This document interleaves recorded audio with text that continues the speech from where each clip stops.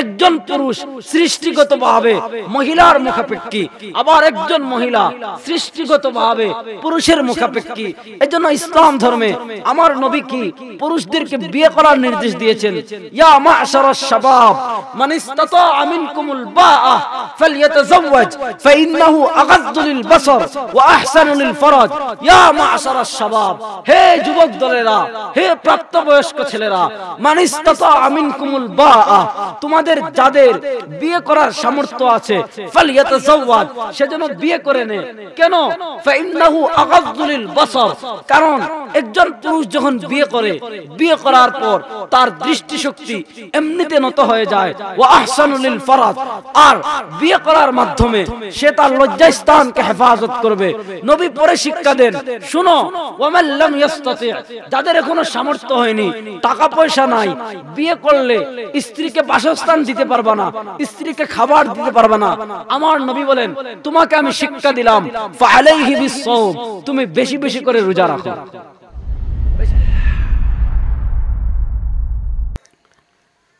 মাহতরম হাজিরিন আল্লাহ রাব্বুল আলামিন আমাদের প্রতি যতগুলো এহসান করেছেন যতগুলো অনুগ্রহ করেছেন যতগুলো দয়া করেছেন আল্লাহ রাব্বুল আলামিনের এহসানের মাঝে, অনুগ্রহের মাঝে সবচেয়ে বড় এহসান হইল, আল্লাহ রাব্বুল আলামিন আমাদেরকে জন্মগত ভাবেই ঈমান দান করেছেন। মুসলমান মা বাবার ঘরে জন্ম দিয়েছেন। আল্লাহর নবী সাল্লাল্লাহু আলাইহি ওয়াসাল্লাম হাদিসের মধ্যে বলেন, কুল্লু মাউলুদিন ইউলাদু আলাল ফিতরাহ فأباه يهودانه أو يمصرانه أو ينجسانه রুহের জগতে আল্লাহ রাব্বুল আলামিন পৃথিবীর সকল রুহকে জমা করে আল্লাহ একটা মজলিস করেছিলেন একটা সম্মেলন করেছিলেন সেই সম্মেলনে আল্লাহ রাব্বুল আলামিন পৃথিবীর সকল রোহকে জিজ্ঞাসা করেছিলেন পৃথিবীর সকল মানুষকে জিজ্ঞাসা করেছিলেন আমি কি তোমাদের প্রভু নয়? সকল মানুষ বলেছিল, বালা, হে প্রভু, অবশ্যই আপনি আমাদের প্রভু। আল্লাহ নবী হাদিসে বলেন, ওই যে আমরা বালা বলে এসেছি, একজন মানুষ হিন্দুর ঘরে জন্মগ্রহণ করুক, বৌদ্ধের ঘরে জন্মগ্রহণ করুক, ইহুদির ঘরে জন্মগ্রহণ করুক, খ্রিস্টানের ঘরে জন্মগ্রহণ করুক ফিতরা।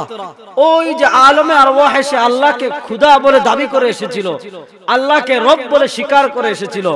ওই স্বীকারোক্তির উপর সে থাকে। তবে সে যখন বড় হয়, প্রাপ্তবয়স্ক হয় সমজদার হয়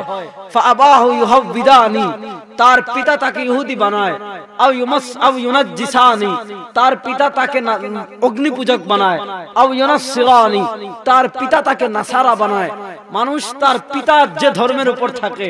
সন্তান স্বাভাবিকভাবে যখন বড় হয়, সে তার পিতার ধর্মের দিকে যায়।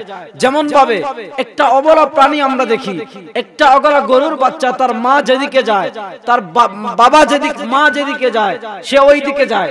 কুকুরের বাচ্চা, কুকুরের মা যেই দিকে যায়, সে ওই দিকে যায়। নবী বলেন, এইটা হলো ফিতরা।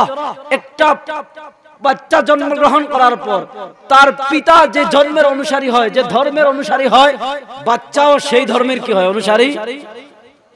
শুধু ধর্মের ক্ষেত্রে না, আপনি আপনার অন্য অন্য ক্ষেত্রেও দেখবেন।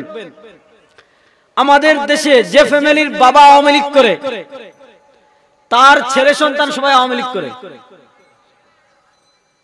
তার বাবা যদি বিএমপি করে, ছেলে সন্তান সব বিএমপি করে। তার পিতা যদি চরমনায় পীর সাহেবের মুরিদ হয়, পীর সাহেবের সাথে সংযুক্ত হয়, তাহলে দেখবেন ছেলেও পীর সাহেবের মাহফিলে যায়, অর্থাৎ বাবা যেদিকে যায়, তার ছেলেরা সাধারণত বাবাকে অনুসরণ করে। এজন্য আল্লাহর নবী হাদিসে ইঙ্গিত করেছেন পিতাদেরকে বুঝিয়েছেন যে তোমার ছেলে তোমার সন্তান তোমার বাচ্চা তোমার নসব তোমার বংশ তারা ভালো পথের পথিক হবে নাকি খারাপ পথের পথিক হবে? এটা অধিকাংশে অনেকাংশে নির্ভর করে পিতার উপর তোমার উপর। হ্যাঁ অনেক ক্ষেত্রে ভিন্ন হইতে পারে। পিতা অগ্নি পূজক ছেলে সাহাবি, পিতা আবু জাহেল, ছেলে হজরতে মিকদাদ ছেলে হজরতে ইকরামা ইকরামা ইবনে আবি জাহাল। পিতা এত টাটকা কাফের যে ইসলামের বিরুদ্ধে জীবিত থাকতে এমন কোন ষড়যন্ত্র নাই আবু জাহেল করেনি। কিন্তু তার ঘরে আল্লাহ জন্ম দিয়েছেন হযরত ইকরামা রাদিয়াল্লাহু তাআলার মতো জগদীখ্যাত প্রখ্যাত সাহাবী। এটা আল্লাহর খেলা। কিন্তু ভালো করে বুঝেন। আল্লাহ রাব্বুল আলামিন পবিত্র কোরআনে বলেছেন, ওয়াবতাগু ইলাইহিল ওয়াসিলা। যে প্রত্যেক ক্ষেত্রে তুমি মাধ্যম তালাশ করো। তুমি রিজিক। তুমি যদি আল্লাহর কাছে রিজিক তালাশ করতে চাও, তুমি ঘরে বসলে আল্লাহ রিজিক দিবে না। তুমি কাজ করতে হবে, কাজ করে তাওয়াক্কুল আল্লাহর উপর। এজন্য দেখেন কথাগুলো ভালো করে বুঝবেন পর্দা আড়ালের মা বোনেরা। আপনারা কথাগুলো ভালো করে শুনবেন। বর্তমানে আমরা এমন একটা যুগে আসছি, যে যুগকে বলা হয় নব্য আয়ামে জাহিলিয়ত। আয়ামে জাহিলিয়াতে মানুষের গায়রাত ছিল অনেক। অনেক কাফের। তাদের গায়রাত ছিল, আত্মমর্যাদা ছিল। এজন্য শুনেন, মদিনার যে সকল ইহুদি ছিল, তারা নিজেদেরকে খুব সম্মানী মনে করত। এজন্য সকল মানুষ হজে আরাফায় যাইতো, তারা আরাফায় যাইতো না। তারা মনে করতো, সব মানুষ যায়, আমরা কেন যাব? আমরা তো সম্মানী, আমরা যাব আমরা হলে কিতাব। রসুল্লাহ সাল্লাহ আলাইসাল্লাম পৃথিবী থেকে চলে যাওয়ার চোদ্দশো বছর পার হয়ে গেছে। চোদ্দশো বছরের পর আমরা একটা নব্য আয়ামে জাহিলিয়াতে বসবাস করতেছি।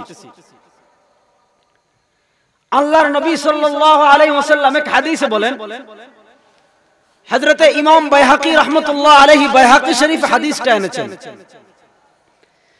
আল্লাহর নবী বলেন, ইউশিকু আন ইয়াতি আলা নাসি জামান। হে আমার উম্মাহ ইউশিকু, ভয় হয়। আন ইয়াতি আলা নাসি জামান।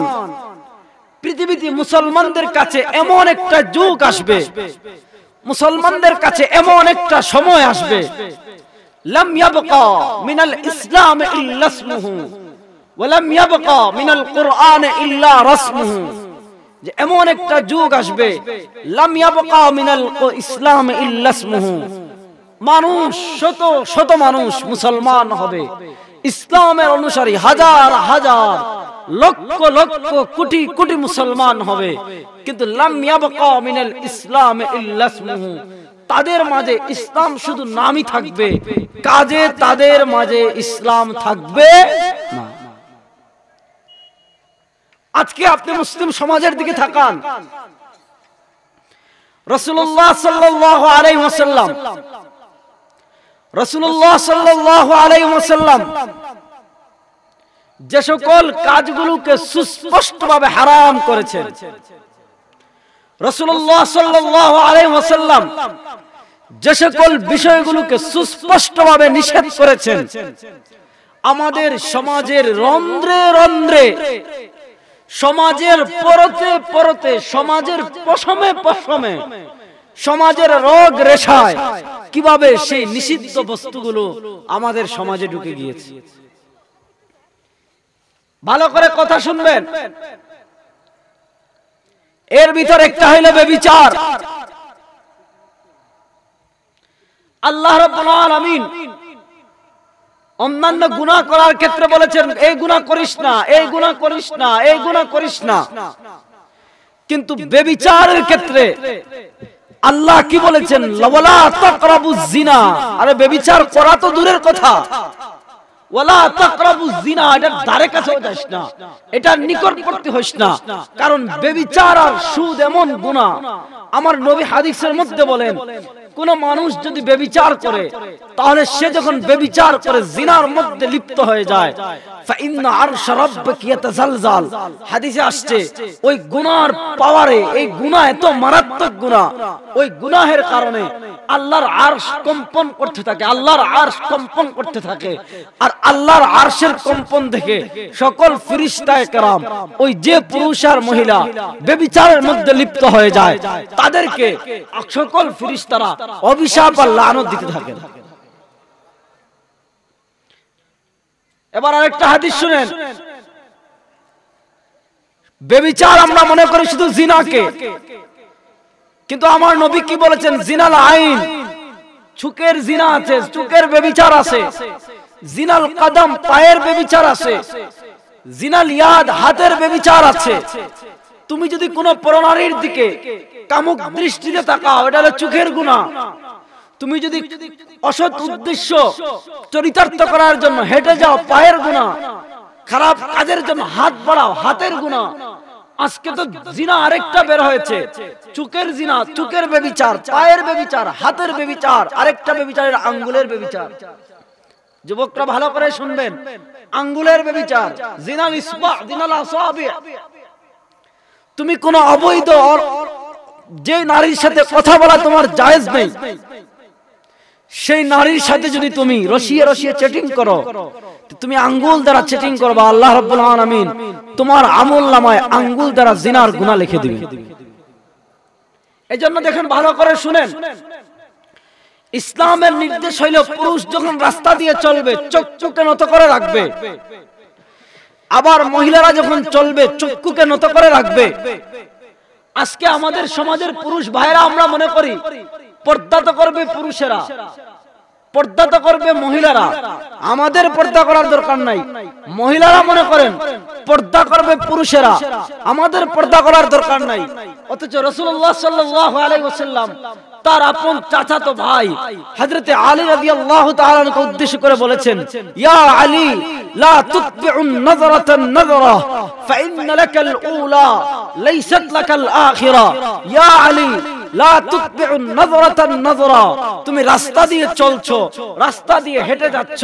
হঠাৎ তোমার ইচ্ছে নেই, তোমার সংকল্প নাই, কোন প্রণালীর দিকে তোমার দৃষ্টিপাত চলে গিয়েছে, তোমার চক্ষু চলে গিয়েছে। আলী, সাবধান, সাথে সাথে দৃষ্টি ফিরিয়ে নাও। দৃষ্টি পড়ার সাথে আর তাকিয়ে থাকিও না। কেন? প্রথমবার যদি তোমার বেখিয়ালে কোন পরনারীর প্রতি দৃষ্টি পড়ে যায়, আল্লাহ তোমার আমলনামায় কোনো গুনাহ দিবেন না। কিন্তু দৃষ্টি পড়ার পর তুমি তোমার দৃষ্টিকে যদি স্থির রাখো, কোন প্রণালীর চেহারা দেখতে থাকো, তাহলে আল্লাহ রাব্বুল আলামিন তোমার আমলনামায় চুকের জিনার কবিরা গুনাহ দিতে থাকবেন। এটা হলো আল্লাহ নবী পুরুষের ক্ষেত্রে শিক্ষা দিয়েছেন। আবার মহিলাদের ক্ষেত্রে, মহিলারা পুরুষের চেহারা দেখার ক্ষেত্রে, আমার নবী কত সতর্ক ছিলেন। কত কঠিন শিক্ষা দিয়েছেন। আমি আপনাদেরকে একটা হাদিস শোনাই। হযরতে ইমাম বুখারী রাহমাতুল্লাহ আলাইহি বুখারী শরীফ হাদিস শুনেছেন হযরতে আব্দুল্লাহ ইবনে উম্মে মাকতুম রাদিয়াল্লাহু তাআলা আনহু, অন্ধ সাহাবী ছিলেন অন্ধ। চোখে দেখতেন না। মুআদ্দিন রাসূলুল্লাহ, বড় সুন্দর সুর ছিল। কি করতেন? মসজিদে নববীতে আজান দিতেন। তো আরবের কাফেরেরা, মক্কার কাফেরেরা, তারা যখন দেখতো, অন্ধ ব্যক্তি রাসূলের দরবারে বসা, একদিন আয়েশা বলল, হে মোহাম্মদ, আমরা আপনার কাছে বসবো, তবে শর্ত হইল, আমরা আপনার কথা শুনব, আমরা যখন কথা শুনব, আপনার কাছে কোন অন্ধ ব্যক্তিকে বসাতে পারবেন না। নবীর অন্তরে এই খেয়ালটা আসছে।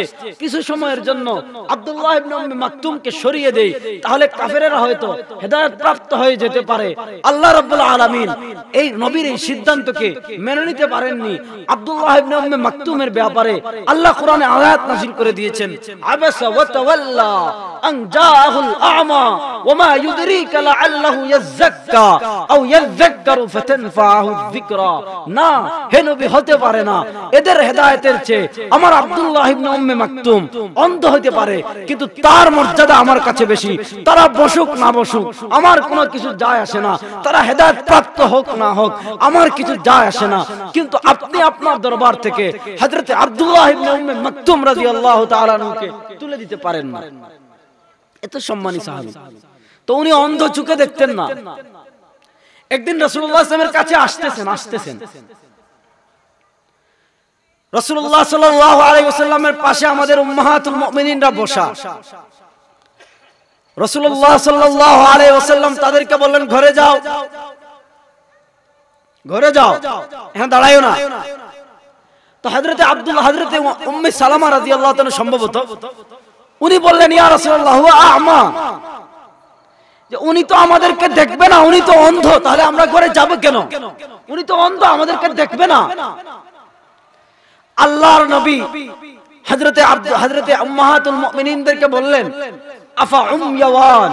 উময়াওয়ান আলাস্তুমা তুবসিরানি আফা উময়াওয়ান আলাস্তুমা তুবসিরানি যে তোমরা দুইজন তো অন্ধ না। আলাস্তুমা তুবসিরানি? তোমরা তো কি ইবনে উম্মে মাকতুমকে দেখবে? তোমরা কেন পরনারীর পরপুরুষের চেহারা দেখবে? সে তোমাদেরকে না দেখো তোমরা পরপুরুষের চেহারা দেখার দরকার নাই। আফা উময়াওয়ান তোমরা তো অন্ধ হও নাই। আলাস্তুমা তুবসিরানি? তোমরা তো তাকে দেখবা। সুতরাং তোমরা আব্দুল্লাহ ইবনে উম্মে মাকতুমকে দেখার দরকার নাই। তোমরা ঘরে চলে যাও। ভালো করে বুঝবেন। আজকে সমাজে নবী কি বলেছেন?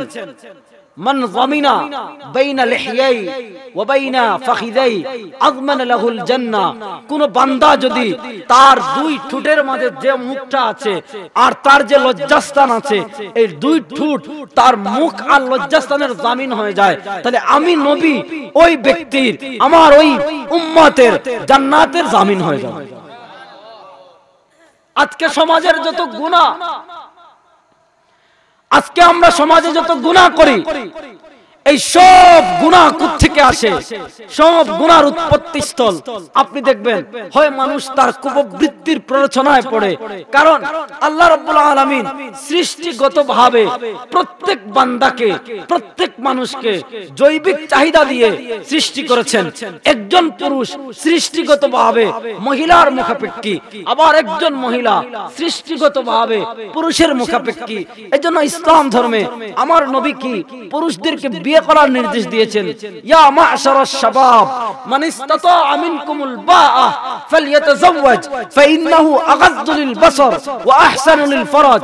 ইয়া মাশারাশ শাবাব হে যুবক দলেরা, হে প্রাপ্তবয়স্ক ছেলেরা, মান ইসতাতা মিনকুমুল বাআ, তোমাদের যাদের বিয়ে করার সামর্থ্য আছে ফালইয়াতাযাওয়াজ সেজন্য বিয়ে করে নে কেন?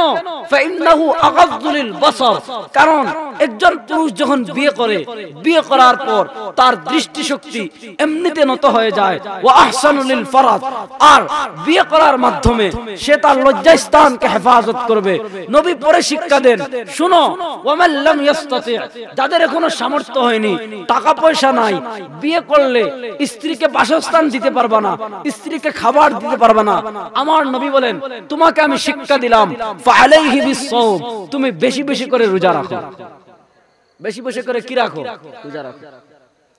দেখেন ভালো করে শুনেন।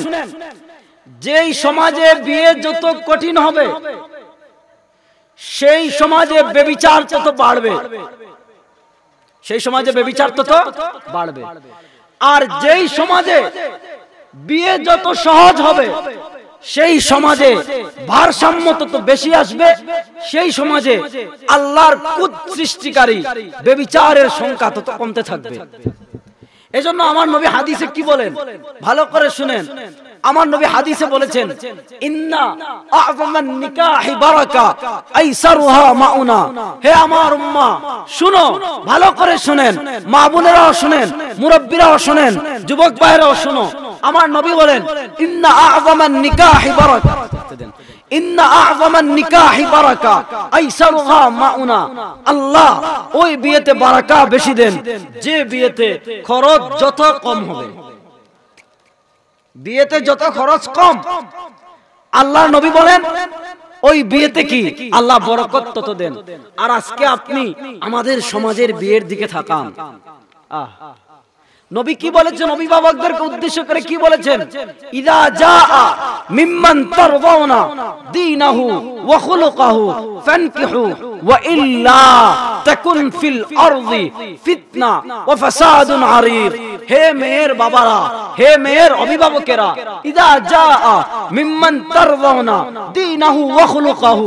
যদি এমন কোন পুরুষ মানুষের প্রস্তাব থেকে তোমার মেয়ের বা তোমার ভাতিজির তোমার বোনের বিয়ের প্রস্তাব আসে মিম্মান ওয়া খুলুকাহু, যার এবং চরিত্র ব্যাপারে তুমি সন্তুষ্ট, আর কোনো কিছু থাকাইও না।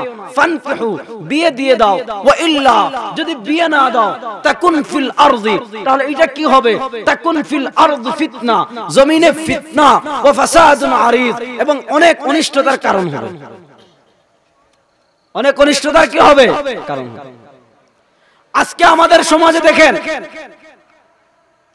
রসুল্লাহ ইসলামের যুগের বিয়ে দেখেন। আর আমাদের বর্তমান সমাজের বিয়ে দেখেন। বাইনাহুমা মাফাউিজ মাতি।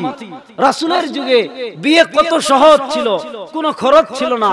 যার সামর্থ্য আছে, সে বিয়ে করে, তার চরিত্রকে হেফাজত করত। আর আজকে একটা ছেলে যদি বিয়ের চিন্তা তার মাথায় আসে, কমছে এবং আগে চিন্তা করে, আমার ব্যাংক অ্যাকাউন্টে কমছে কম চার পাঁচ লক্ষ টাকা থাকতে হবে নাহলে আমার এই অনুষ্ঠান করতে হবে, এইটা করতে হবে, ওইটা করতে হবে বড়যাত্রী যেতে হবে, গায়ে হলুদ করতে হবে বন্ধু বান্ধব নিয়ে যেতে হবে, এইটা করতে হবে, এত টাকার বাজার করতে হবে। সে চার পাঁচ লক্ষ টাকার মালিক না হওয়ার আগ পর্যন্ত বিয়ের কল্পনা করে না। দেখা যায় একজন পুরুষের বয়স ত্রিশ আপ, পঁয়ত্রিশ আপ, চল্লিশের কাছাকাছি, কিন্তু বিয়ে করার সাহস পাইতেছে আবার যারা আল্লাহ মাফ করুক, আমাদের বাংলাদেশে বেশিরভাগ মানুষ হলো দরিদ্র, নিম্নবিত্ত। যদি অনেকে বলে দেশ সোনার মানে স্বর্ণের দেশ হয়ে গেছে হাবি যাবে এগুলো সব মিথ্যা কথা। আমাদের দেশে আপনি মিলান। বেশিরভাগ মানুষ নিম্নবিত্ত। আইয়ামে মানুষ মেয়ে জন্মগ্রহণ করলে লজ্জা পাইতো। মালের কারণে না টাকার কারণে না। তারা মেয়েদেরকে অপাঙ্ক্তেও মনে করত। তারা মনে করত মেয়ে এটা আমার প্রেস্টিজের সাথে যায় না। এজন্য আইয়ামে জাহিলিয়াতে হযরতে দাহিয়া কলবি রাদিয়াল্লাহু তাআলা লম্বা ঘটনা হাদিসের কিতাবাদি এসেছে যে উনি উনার মেয়ে আব্বা আব্বা ডাকে। কিন্তু মেয়ে হয়ে জন্মগ্রহণ করল কেন? এই অপরাধে হাজরত দাহিয়া কালবি রাজি আল্লাহ তালানু তার মেয়েকে নিয়ে জীবন্ত দাফন করে ফেলছিলেন কিন্তু আজকে আমাদের সমাজে বিয়েকে আমরা কঠিন করে ফেলার কারণে, বিয়েকে আমরা কঠিন ফেলার কারণে আমাদের সমাজের অবস্থা কি হয়েছে? আমাদের একজন সাধারণ মানুষ যার ইনকাম মাসে পনেরো থেকে বিশ হাজার টাকা, তার ঘরে যদি কোনো মেয়ে আলোকিত, তার ঘর আলোকিত করে, যদি কোনো মেয়ে সন্তান জন্মগ্রহণ করে, তার কপালে মেয়ে যখন ছোট, এখনও কথা শিখেনি, তার কপালে চিন্তার ভাঁজ পড়ে যায়। আরে, আমার মেয়েকে আমি বিয়ে দিব কীভাবে? আমার মেয়ের বিয়ের সময় বরযাত্রী আসবে, এক লক্ষ টাকা লাগবে।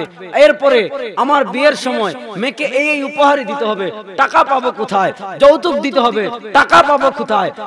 ঈদের সময় ইফতারি দিতে হবে। টাকা পাবো কোথায়? শীতকালে মিষ্টি পাঠাতে হবে। টাকা পাবো কোথায়? গ্রীষ্মকালে এইটা দিতে হবে। টাকা পাবো কোথায়? একজন মধ্যবিত্ত কিংবা একজন নিম্নবিত্ত ফ্যামিলির মানুষের ঘরে যখন মেয়ে ঘর তার ঘর আলোকিত করে তার মেয়ে সন্তান জন্মগ্রহণ করে। উচিত ছিল সে আনন্দিত হবে। কিন্তু আজকে আমাদের সমাজ ব্যবস্থা এতটাই নষ্ট হয়েছে। আমাদের সমাজ ব্যবস্থা এতটাই পচে গিয়েছে। আমাদের সমাজ ব্যবস্থায় এতটা নোংরা হয়েছে যে একজন নিম্নবিত্ত আর মধ্যবিত্ত পরিবারে যদি মেয়ে সন্তান জন্মগ্রহণ করে, তার কপালে চিন্তার বাদ পড়ে যায়।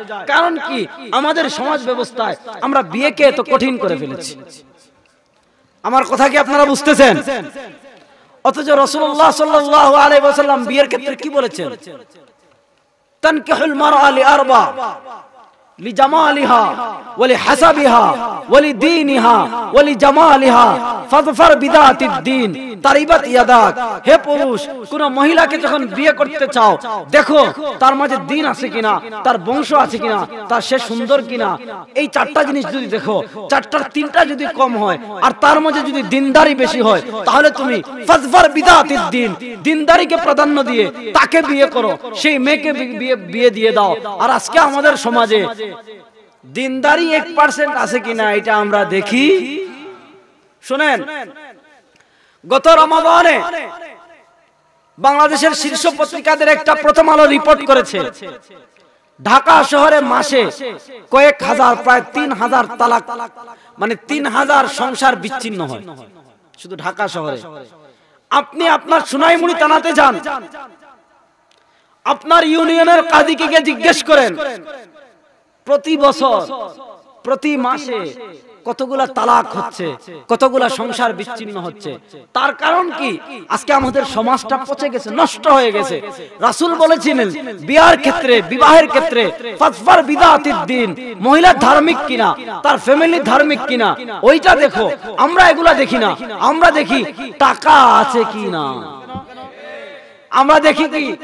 টাকা আছে কিনা, সে চরিত্রবান কিনা, তার বংশের চরিত্রবান কিনা, দেখা যায় মেয়ে খুব ভালো, ছেলে টাকা দিয়ে, বাপ লুপ করে, জামাইয়ের টাকা দেখে, বাড়ি দেখে, বিয়ে দিয়ে দিয়েছে, তারপর খবর পায়, জামাই ইয়াবা খায়, জামাই মাদক করে, এই ব্যবসার সাথে জড়িত, এইটার সাথে জড়িত, কয়েকদিন পর পর যৌতুকের জন্য মেয়েরে বাবার বাড়িতে পাঠায়, বাপ যদি একবার দে, দুইবার দে, তিনবার দে, চারবার দে, এরপরে যদি না পারে মেয়েরে পিঠায় আহত করে, খুন্তি দিয়ে শরীরে খুন্তি সেকা করে দাগ দে। এই ধরনের ঘটনা আমাদের দেশে ঘটতেছে কি, ঘটতেছে না? এর কারণ কি? এর কারণ রসুল্লাহ ইসলামের সেই শিক্ষা। রসুল্লাহ ইসলামের সেই শিক্ষা আমাদের মাঝে নাই। নবী চোদ্দশো বছর আগে বলেছেন মিনাল ইসলাম মানুষের মাঝে ইসলাম শুধু নামে থাকবে, আর কিছু থাকবে না। আর বুখারীর হাদিসে নবী কি বলেছেন? জামান। আমি চলে যাওয়ার পর মুসলমানরা বিজাতীয় সংস্কৃতিকে এমন ভাবে অনুসরণ করবে, বিজাতীয় কৃষ্টি কালচারকে বিজাতীয় অপসংস্কৃতিকে এত বেশি অনুসরণ করবে লাউ সালাকু ফি জুহরি দাব্বিন লাসালাকতুমুহু। মুসলমানদের অবস্থা এমন হবে। ইহুদি খ্রিস্টানরা যদি গুই সাপের গর্তে প্রবেশ করাকে সংস্কৃতি মনে করে, মুসলমানদের অবস্থা এমন হবে। তারা ওইটাকে ভালো কাজ মনে করে, প্রেস্টিজ কাজ মনে করে, এটাকে তারা সংস্কৃতি মনে করে, তারা গিয়ে গুই সাপের গর্তে প্রবেশ করবে। রাসুল চোদ্দশো বছর আগে বলেছেন মানে মুসলমান কদমে কদমে, পাড়ায় পাড়ায়, প্রত্যেকটা মুহূর্তে, প্রত্যেকটা পদবিক্ষেপে সে ইহুদ এবং খ্রিস্টানদের অনুসরণ করবে। নবী চোদ্দশো বছর আগে বলেছেন এই জন্য আজকে আপনি আপনার এলাকায়, আপনার ইউনিয়নে, আপনার থানায় প্রতিদিন, প্রতি শুক্রবার দেখেন কতগুলো বিয়ে হচ্ছে। আপনি খবর নিয়ে দেখেন কয়টা বিবাহ সুন্না অনুযায়ী হচ্ছে আর কয়টা বিবাহ ইহুদি খ্রিস্টানদের কালচার অনুযায়ী হচ্ছে।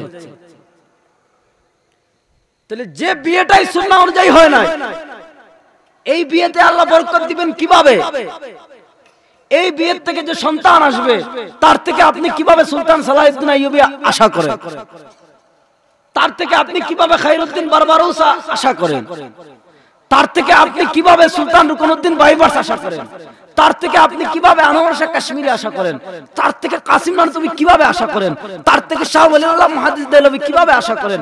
কীভাবে আশরাফ আলী থানভী আশা করেন? আরে আমাদের সমাজ ব্যবস্থাটা একদম নষ্ট পচে গলে গেছে। অথচ আমাদের নবীর যুগে বিবাহ কত সহজ ছিল। কোন বরযাত্রী ছিল না, কোন গায়ে হলুদ ছিল না, কোন যৌতুক ছিল না, কিচ্ছু ছিল না। যার যার বিবাহের সময় হয়েছে, উনি সহজ অর্থে গিয়ে মোহর দিতেন, বিয়ে করে বউ নিয়ে চলে আসতেন। কোনো ইয়ে ছিল না। আর একটা হাদিস শোনাই আপনাদেরকে। রসুল্লাহ আসলামের সাহাবি হজরতে জাবের রাজি আল্লাহ তালানু কত বড় সাহাবি। হাদিসের পাতায় পাতায় আপনারা পাবেন, আন জাবিরিন আন জাবিরিন আন জাবিরিন। অথচ জাবের রাজি আল্লাহ তালু বিয়ে করেছেন। রসুল্লাহ আসলামকে বলেননি দাওয়াত দেননি। দাওয়াত দেওয়ার প্রয়োজন মনে করেননি। ফজরের নামাজে আসছেন। রসুল্লাহ আসলাম দেখলেন জাবের রাজি আল্লাহ গায়ে মহিলাদের শাড়ির রং লাগানো। রসলাম জাবেরকে জিজ্ঞেস করলেন হাল্লা না কাহতা ইয়া জাবের? হে জাবের তুমি মনে হয় বিয়ে করেছ। বিয়ে করার কারণে মহিলাদের মহিলাদের শাড়ির রং তোমার শরীরে দেখছি। কাল নাম ইয়া রাসূল আল্লাহ জাবের বলেন হে আল্লাহর রাসূল হ্যাঁ আমি বিয়ে করেছি। পরে লম্বা হাদিস। আমি এই হাদিস থেকে আপনাদেরকে দেখালাম যে দেখেন, বিয়ে কত সহজ ছিল। রসুল্লাহ আসলাম জাবেরকে জিজ্ঞেস করছেন, বিয়ে করেছেন কিনা? হ্যাঁ বিয়ে করেছি। রাসুল দোয়া করে দিয়েছেন, বস, বিয়ে শেষ।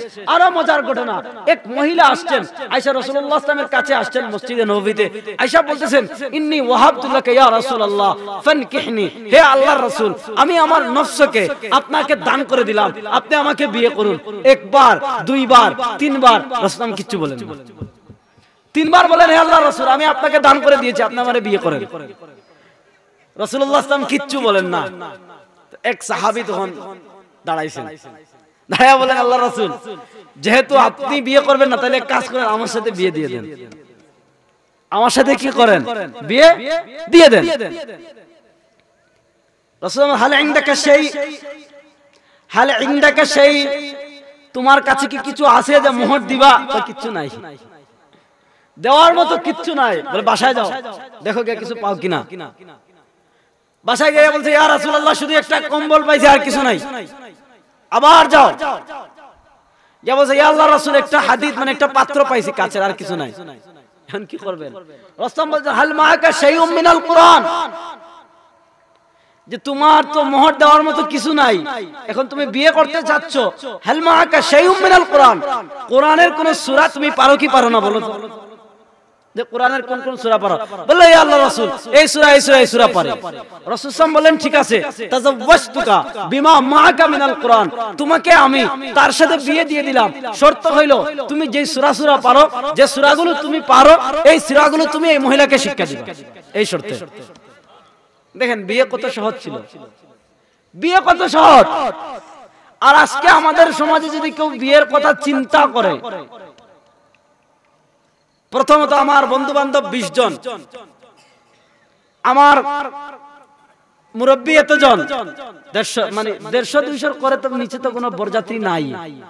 আর বিয়ের আগে লাইটিং, গান বাজনা, তারপর ডিজে ডিজে আছে না? সব বলছে আফসোস কইরা, যে কি পোলাবাইন এখন এত খারাপ হইছে ফের জিকিরে নাকি কাট কইরা এখন ডিজে বানায়, এখন কোন বিয়ে নাকি তাহিরি সাহেবের ডিজে ছাড়া হয় না। দেখেন অথচ বিয়ের আগে মেয়ের বাড়িতে কোনো দায়িত্ব নাই শরীয়তের। শরীয়ত শুধু পুরুষকে নির্দেশ দিয়েছে আউলে মোলা বিশ্বাস।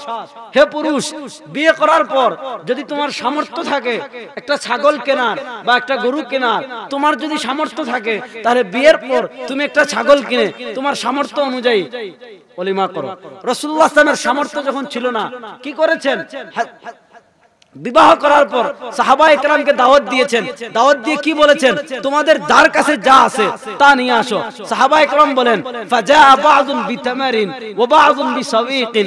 দেখা গেল কেউ কেউ খেজুর নিয়ে আসছে, কেউ কেউ সাতু নিয়ে আসছে, কেউ কেউ রুটি নিয়ে আসছে, কেউ কেউ গোশত নিয়ে আসছে। রাসূলুল্লাহ সাল্লাম দস্তরখান বিছাই দিয়েছেন। সাহাবা একরাম সব রাখছেন। রাসূল বলছেন, এই খাও, বিবাহের ওলিমা বিয়ে শেষ ওলিমা খাও। ইসলামে বিয়েকে সবচেয়ে সহজ করেছে। কারণ একজন মানুষ যদি তার চরিত্রকে হেফাজত করতে পারে, একজন মানুষ যদি তার চরিত্রকে সুরক্ষিত করতে পারে, অন্যান্য গুনাহের দিকে সে আর দাবিত হইতে একটু কল্পনা, একটু চিন্তা করবে। কিন্তু যদি তার চরিত্র ঠিক না থাকে, তাহলে চরিত্র যদি কোনো মানুষের ঠিক না থাকে, তাহলে ওই মানুষ আর অমানুষের মাঝে কোনো পার্থক্য নাই। এজন্য মুসলমান সব জায়গায় বলতেছি এবার যে আসুন বিয়েকে সহজ করি। আসুন বিয়েকে কি করি? সহজ করি। আজকে আমরা এত কঠিন বানিয়েছি। বিয়ে দেওয়ার পর একজন দরিদ্র মানুষ বহু কষ্ট মষ্ট করে। আহারে, কত দরিদ্র মানুষের খবর আসছে। কত দরিদ্র মানুষ কথা বলে, মেয়েকে বিয়ে দিবে, মেয়ে অপযুক্ত হয়ে গিয়েছে, ভালো ভালো প্রস্তাব আসে। কিন্তু সে যে বরযাত্রী খাওয়ানোর মতো তার সামর্থ্য নাই। মেয়েকে পালং দিতে হবে, সুটকেস দিতে হবে, শোকেস দিতে হবে, আবার জামাইয়ের দাবি মোটরসাইকেল দিতে হবে, এইটা দিতে হবে। এত টাকার সামর্থ্য নাই, কিন্তু তার মেয়েকে তো বিয়ে দিতে হবে। ওই দরিদ্র মানুষ, ওই নিম্নবিত্ত মানুষ, ওই মধ্যবিত্ত মানুষ, তখন তার অবস্থা কি হয়? সে বাধ্য হয়ে গিয়ে ব্যাংক থেকে সুদ আনে। আনে কি আনে না? ব্যাংক থেকে সুদ আনে, লোন আনে, কিস্তি কিস্তি দে, কিস্তি দিতে পারে না। ব্যাংকের মানুষ এসে ডাকাডাকি করে, গালিগালাজ করে এক এক সময় ঘর লেখা দিয়ে যায় যে এই বাড়ি অমুক ব্যাংকের কাছে দায়বদ্ধ। এজন্য মুসলমান মা বোনেরা ভালো করে কথা শুনেন। অনেক মুরব্বী বাবার আছেন, কথাগুলো ভালো করে শুনেন। আজকে আমাদের সমাজ নষ্ট হয়ে গিয়েছে। আমাদের সমাজ পচে গেছে। আমাদের সমাজ ব্যবস্থার সাথে, আমাদের বিবাহের যে কুসংস্কার, এগুলোর সাথে ইসলামের কোনো সম্পর্ক নাই। রাসুল যে বলেছিলেন, মুসলমানরা, ইহুদি খ্রিস্টানরা যদি গুইসাপের ঘরতে প্রবেশ করে, মুসলমানরাও গৈসাপের ঘরতে প্রবেশ করা শুরু করবে। আজকে দেখেন, ইউরোপিয়ান যে কালচার বিবাহের ক্ষেত্রে, আমাদের মুসলমানদের ঘরে ঘরে ঘরে ঘরে ইউরোপিয়ান সে কালচার চলে আসছে কি আসছে না? ইসলামের ইতিহাসে গায়ে হলুদ বলে কোনো জিনিস নাই। আর আরও তো আরেকটা বড় কুসংস্কার, জানেন? আমাদের সমাজ কতটা নষ্ট হয়েছে। মেয়েকে বসিয়ে রাখে।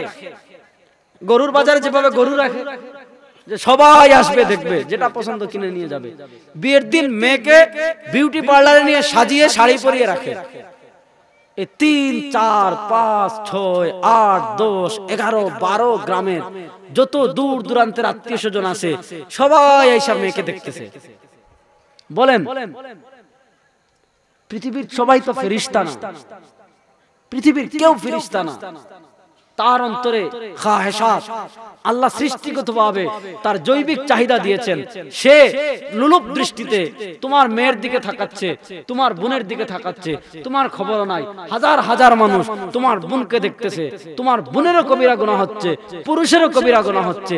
আর যারা এটার ব্যবস্থা করতেছে, তাদের আমল নামায় প্রতিক্ষণ কবিরা গুণা লেখা হচ্ছে কি হচ্ছে না? বরকাত হবে কীভাবে? সংসার ঠিকবে কীভাবে? এই সন্তান থেকে এই এই মেয়ের যখন বাচ্চা জন্মগ্রহণ করবে, এই বাচ্চা অবাধ্য হবে, এই বাচ্চা মা বাবার অবাধ্য হবে। না তো হবে কেটা বলেন আমারে। এই বাচ্চা যদি মেয়ের অবাধ্য না হয় কার হবে? যার সূচনাটা হয়েছে গুণা দিয়ে, যার সূচনাটা হয়েছে ইহুদি খ্রিস্টান কালচার দিয়ে। এজন্য মুসলমান আপনাদের হাতে ধরে বলি, পায়ে ধরে বলি, আপনি যদি সব দিক থেকে মুক্তি পেতে চান, আপনাকে রসুল্লাহ সাল্লামের সুন্নার পথে আসতে হবে। রসুল্লাহ সুন্না ছাড়া ডানে বামে যত পথ আছে, সব পথ হইল জাহান নামের পথ। কোন পথ আপনাকে জান্নাতে নিয়ে যেতে পারবে এজন্য আমি আপনাদের কাছে একটা অনুরোধ রেখে গেলাম। আপনি আপনার ছেলেকে বিয়ে দিবেন النكاح ينعقد بالإيجاب والقبول بحضور شاهدين বিবাহের ক্ষেত্রে বিবাহ ইসলামে বিবাহ কি নাম জানেন দুইজন সাক্ষীর উপস্থিতিতে যদি ইজাব কবুল হয়ে যায় বিয়ে হয়ে গেছে আমাদের দেশে আরেকটা কুসংস্কার আছে ভালো করে শুনেন মা বোনেরাও শুনেন ছেলে যুবক ভাইরাও শুনো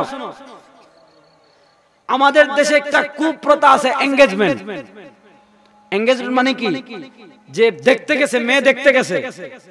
আর আরও কত কুসংস্কার, বললাম না, ইসলামকে আমরা একদম চূর্ণ বিচূর্ণ করে ফেলেছি। দেখতে যায় কারা? এক গাড়ি ভইরা যায়। মেয়েরে উঠানে রাখে, সবাই এসে দেখে। এমন কুসংস্কার আছে না নাই?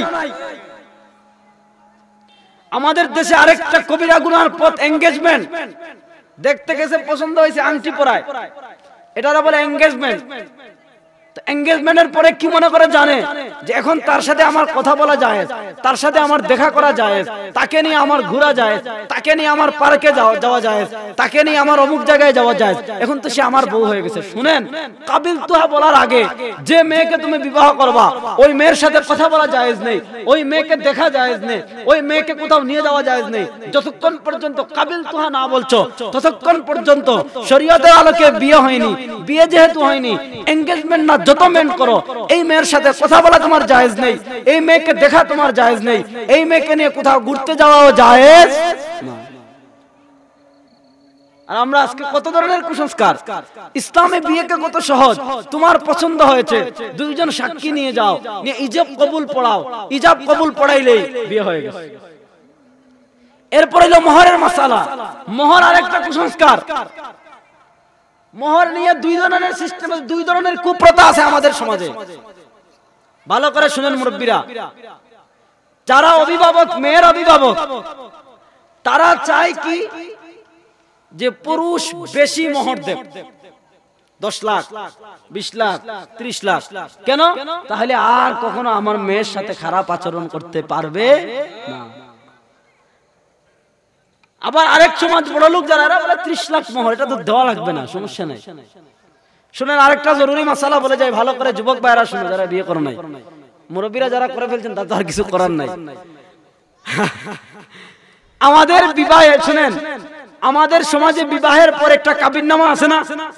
কাবির নামা একটা আছে না? লিখিত নে? এই কাবির নামার একটা ধারা আছে, আঠারো নং ধারা। কাবির নামার একটা ধারণা ধারা আছে, এটার নাম কি? আঠারো নং ধারা। মানে আপনি আপনার স্ত্রীকে তালাক দেওয়ার অধিকার দিয়েছেন কিনা? দিলে কোন শর্তে দিয়েছেন? মানে স্ত্রীকে তালাকের অধিকার। যে স্ত্রী যদি চায় কখনো, বনিবানা হচ্ছে না, স্ত্রী আপনাকে তালাক দিয়ে যেতে পারবে কি পারবে না? এটাকে বলে তাফবিদে তালাক। তো তাফবিদে তালাক, স্ত্রীকে আপনি তালাক দেওয়ার অধিকার দিয়েছেন কিনা? দিলে কোন শর্তে? আমাদের সমাজে মোহর নির্ধারণ করে দশ লাখ, মোহর নির্ধারণ করে আট লাখ। মোহর নির্ধারণ করে সাত লাখ। সে চিন্তাও করে না। কাজী যা বলে, তার কথা অনুযায়ী স্ত্রীকে তালাক দেওয়ার অধিকার দিয়ে দে। এরপর থেকে দেখা যায়, বিয়ের পর থেকে সমাজে অশান্তি, সমাজে আগুন। অথচ ইসলাম বিয়ের হুকুম কেন দিয়েছে? লিতাসকুনু ইলাইহা ওয়াজআলা বাইনাকুম মাওয়াদ্দাতাম ওয়া রাহমা। যে স্ত্রী, সে তো তুমি বিয়ে করবা, শুধুমাত্র তোমার জৈবিক চাহিদা পূর্ণ করার জন্য না। না, লিতাসকুনু ইলাইহা, একজন পুরুষ সে তার স্ত্রীর কাছে গিয়ে তার তার প্রশান্তি লাভ করবে। এমন ভাবে একজন স্ত্রী সে স্বামীর কাছে এসে প্রশান্তি লাভ করবে। ইসলাম স্বামী স্ত্রীর মাঝে পবিত্র মোহাব্বত, পবিত্র ভালোবাসা এবং পবিত্র সম্পর্ক তৈরি করে দিয়েছে। এজন্য আপনি দেখেন, পৃথিবীতে কত মানুষ, ইহুদি হোক, খ্রিস্টান হোক, বৌদ্ধ হোক, তার শত শত বান্ধবী আছে, শত শত গার্লফ্রেন্ড আছে, অবৈধ পন্থায়, শত শত জায়গায় সে তার জৈবিক চাহিদা পূর্ণ করতে পারে, কিন্তু এরপরেও সে বিবাহ করে, তার একজন নির্দিষ্ট স্ত্রী থাকে। কেন?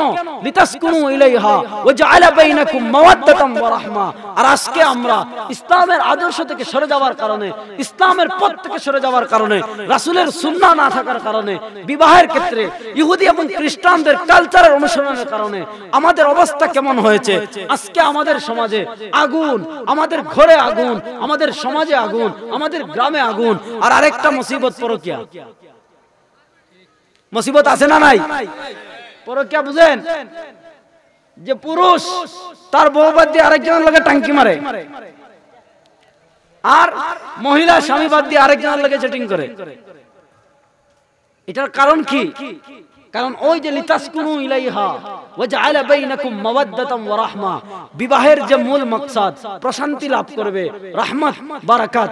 এই মূল সে, মূল তার বিবাহটা শরীয়ত সম্মত পন্থায় হয়নি, তার সংসারটা শরীয়ত সম্মত পন্থায় শুরু হয়নি।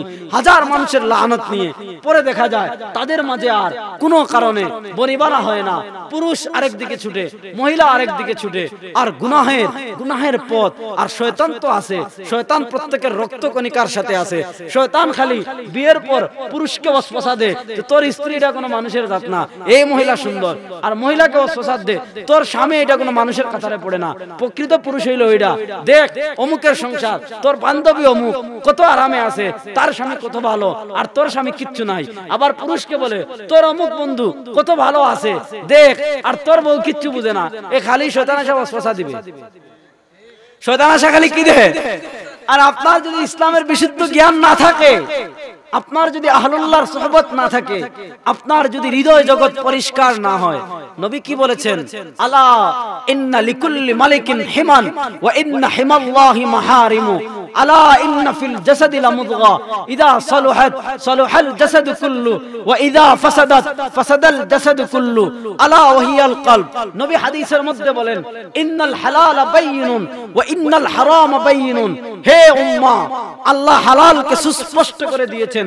ওয়া ইন্নাল হারাম বাইয়িনুন হারামকে সুস্পষ্ট করে দিয়েছেন। ওয়া বাইনাহুমা মুশতাবিহাত হালাল এবং হারামের মধ্যখানে শরীয়তের এমন কিছু বিষয় রয়েছে, এমন কিছু আহকাম রয়েছে যেগুলাকে বলা হয় মুস্তাবি, যেগুলাকে বলা হয় ধাঁধা। হাদিসের মধ্যে নবী বলেন, ফামান ওয়াকা ফিস শুবহাত, ওয়াকা ফিল হারাম। যে ব্যক্তি শুবহাত, সন্দেহযুক্ত জিনিসের মাঝে নিজেকে ব্যস্ত রাখবে, সে হারামে মুক্তলা হয়ে যাবে, সে হারামে পড়ে যাবে। কেমন? কার রাই? ইয়ারা হাওলাল হিমা। বাদশা কর্তৃক, রাষ্ট্র কর্তৃক সংরক্ষিত একটা এলাকা আছে। রাষ্ট্র সংরক্ষিত করে দিয়েছে যে, এই এলাকায় তুমি প্রবেশ করতে পারবা না। তোমার গরুতে ঘাস খাওয়াইতে পারবা না। কিন্তু কোন মানুষ যদি গিয়ে ওই সংরক্ষিত এলাকার আশেপাশে তার গরু ছড়ায় সন্দেহ করা হয়, তার গরু এক সময় সংরক্ষিত এলাকায় চলে যাবে। নবী হাদিসের মধ্যে বলেন এমন ভাবে কেউ যদি সন্দেহ প্রবণ আহকামের পিছনে ছুটতে থাকে, এক সময় সে হারামের মধ্যে পড়ে যাবে। নবী হাদিসের মধ্যে বলেন, আলা ইন্না লিকুল্লি মালিকিন হিমান। হে উম্মাহ, প্রত্যেক বাদশার একটা সংরক্ষিত সীমানা রয়েছে। ও ইন্না হিমাল্লাহি মাহারিমু। আর আল্লাহর সংরক্ষিত সীমানা হইল হারাম যে কাজ, হারাম যে বিধান, হারাম কাজগুলোর তোরা। দ্বারে কাছে না। কারণ, আলা ইন্না ফিল জাসাদিল মুযগা তোর শরীরে, তোমার অন্তরে, তোমার শরীরের মধ্যে হার্ট বাম স্তরের নিচে একটা গুস্তের টুকরা আছে, যেটাকে আমরা হার্ট বলি। ইদা সালুহাত, সালুহাল জাসাদ কুল্লু। ওই গুস্তের টুকরা যদি ঠিক হয়ে যায়, তোমার পুরো শরীর ঠিক। ও ইদা ফাসাদাত, আর ওই গুস্তের টুকরা যদি নষ্ট হয়ে যায়। ফাসাদাল জাসাদ কুল্লু, তোমার পুরো শরীর নষ্ট। আলা ওয়াহিয়াল কলব। হে উম্মা, ওই গুস্তের টুকরার নাম হলো হৃদয়। গুস্তের টুকরার নাম কি? নবী বলেছেন, হারাম, সংশয়পূর্ণ কাজের কাছেও যাইস না। আর আমরা যেগুলো ইয়াকিনান হারাম, পর্দা, বেপর্দা হারাম, গান বাজনা হারাম, ডিজে পার্টি হারাম গায়ে হলুদ, হারাম। এঙ্গেজমেন্টের পর নারী নিয়ে বৌরে নিয়ে ঘোরা, হারাম। পুরা এলাকার মানুষদেরকে সবাই রে নিজের বউ দেখানো, হারাম। শত শত হারামে মুক্তলা হয়ে নিয়ত করি কি যে আমার বউ হবে রাবিয়া বসারি। আবার মহিলা কয় কি যে আমার আমার স্বামী হবে কি আব্দুল কাদির জিলা আব্দুল কাদের জিলানি কি এমনি হয়ে যাবে? আর রাবিয়া বসরি কি এমনি হয়ে যাবে? এজন্য মুসলমান সাবধান যে কয়েকটা কথা বললাম। আপনি দৃঢ় প্রত্যয় ব্যক্ত করেন যে আমি আমার ছেলেকে বিয়ে দিব সুন্না সম্মত পন্থায়। আমি আমার মেয়েকে বিয়ে দিব সুন্না সম্মত পন্থায়। যুবক ভাইরা যারা আছেন, তারা নিয়ত করেন যে আমি বিয়ে করব সুন্না সম্মত পন্থায়। আজকে বিয়ে কঠিন হওয়ার কারণে আপনি বাংলাদেশের রাস্তাঘাটে হাঁটা যায় না, বাংলাদেশের কোন হোটেলে গিয়ে থাকা যায় না। বেবিচার এত ওপেন সিক্রেট হয়েছে। আর আমি আগে বলেছি, বেবিচার এমন কঠিন গুণা বেবিচার মানুষ যখন করে, আল্লাহর আরস কাঁপতে থাকে, আল্লাহর আরস কাঁপতে থাকে। এজন্য ভাই, নিজের হৃদয়কে হেফাজত করা নিজের শরীরের গুস্তের টুকরাকে সংরক্ষণ করা। আর এই গুস্তের টুকরাকে সংরক্ষণ করতে হইলে একটা ছেলেকে সচ্চরিত্রবান বানাতে হলে, আদর্শবান বানাতে হলে। ওই যে শুরুতে হাদিস বলেছিলাম, নবী বলেছেন, কুল্লু কুল্লু মাউলুদিন ইউলাদু আলাল ফিতরা, ফাআবাহু ইউহাউবিদানি আও ইউমাসসিরানি আও ইউনাজ্জিসানি। এজন্য আপনি পিতা হিসাবে আপনার দায়িত্ব হইল, আপনার ছেলে বড় ইঞ্জিনিয়ার হোক, আমার আপত্তি নাই। আপনার ছেলে বড় ডাক্তার হোক, আমার আপত্তি নাই। আমরা চাই মুসলমান মুসলমান সন্তান, বড় বিজ্ঞানী হোক, বড় ডাক্তার হোক, বড় গবেষক হোক, বড় ইঞ্জিনিয়ার হোক, পাইলট হোক, বহুত কিছু হোক, আমরা তো চাই, আমাদের দরকার।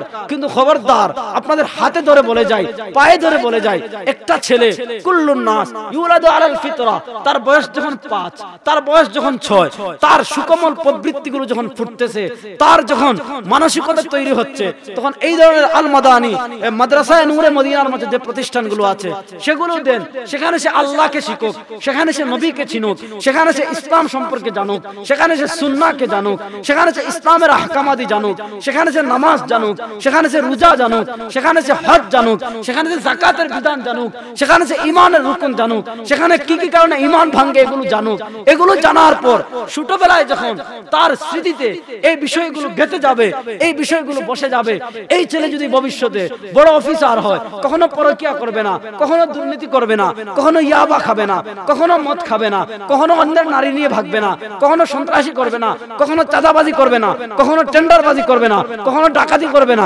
কিছুই করবে না। কেন? কারণ ওই যে ছোট্টবেলায় সে মক্তবে, সে মাদ্রাসায় নূরে মদিনায় গিয়ে পড়ে এসেছিল, ইসলামের বিধি বিধান জেনে এনেছিল, ইসলামের ইলম অর্জন করেছিল, আর ছোটবেলায় তার জেহনে সেটা বসে গিয়েছিল।